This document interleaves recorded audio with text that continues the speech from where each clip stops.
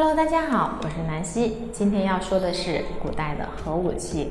嗯，没错，这是一个猜想，只有一些貌似留存的证据在人类历史上。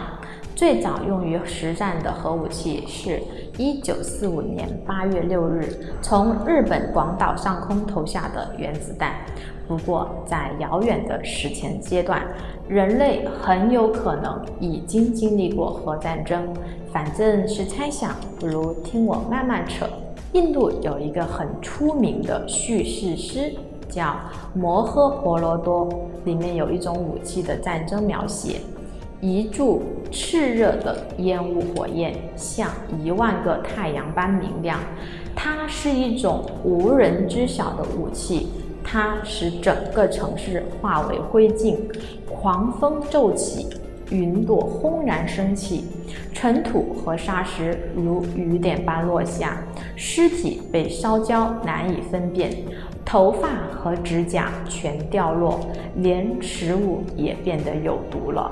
恐怕任何一个了解广岛和长崎惨剧的现代人，在读了上述描写后，都会认为这描写的是遭受核武器攻击的城市吧。而且，当摩诃婆罗多翻译成英文数十年之后，才有飞机、神经毒气、火箭和原子弹陆续出现。最早提出古代核战争痕迹学说的是英国的大卫和意大利的艾特雷，他们是研究古代史的搭档，两人还进行了一次实地考察，在印度的摩亨约达罗附近有一块半径约四百米的被黑色玻璃质满满覆盖的地区，被当地人称作玻璃城。两位研究专家就在这里有了惊人的发现。这座玻璃城中的玻璃质砂石，专业术语称托利尼提物质。该物质是砂石在高温融化后又迅速冷却成玻璃状的一种人工矿物。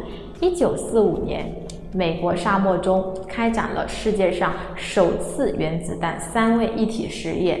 当时因核爆发产生的高热而溶解的砂石，形成了玻璃状的物质。这便是其最初的由来。令玻璃溶解的温度约一千四百度，在自然界中是无法达到这样的高温的。除了托利尼提物质，两人还通过现场发掘出扭曲成漩涡状玻璃化的湖，以及因高温而半融化的砖块等古代遗物，推断出玻璃城就是核爆的中心地。从遗址出土的骸骨数量庞大且十分不自然，其中一部分白骨的焦黑痕迹被认为是高温加热导致的。从目前观察到的痕迹来看，爆炸所带来的高温破坏只在瞬间便完成，其程度在我们现有的技术阶段中只有核武器能达到。也就是说，摩亨约达罗因在其上空爆炸的数千吨核武器而变成了一座死城。如今，印度全境还有许多疑似核战争后的遗迹，在德干高原内的石造遗迹中，能够看到石壁上残留着因超高温而融化的痕迹。建筑物内部还有融化后又结晶化的石造生活器皿。前苏联时期的《寻找太古之谜》中写道，这里出土的人骨上检测出的放射能量要高出一般古遗迹正常值的五十倍。宗教典籍《圣经旧约》中也有提及古代疑似核战争的段落，大体描写是：太阳自地面升起时，罗德逃到了索尔，主将硫磺之火上空降下。把那些城和全平原，并城里所有的居民，连地上生长的草木都毁灭了。罗德的妻子因为不听警告，忍不住回头看了一眼，就变成了一根岩柱。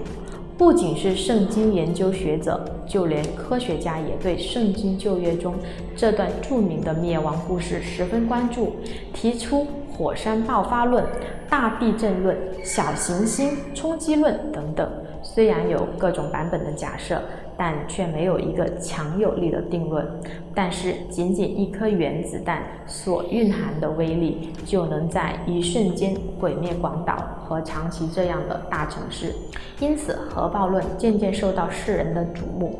若是从核爆论角度来分析这些令人费解的技术和表现手法，就都说得通了。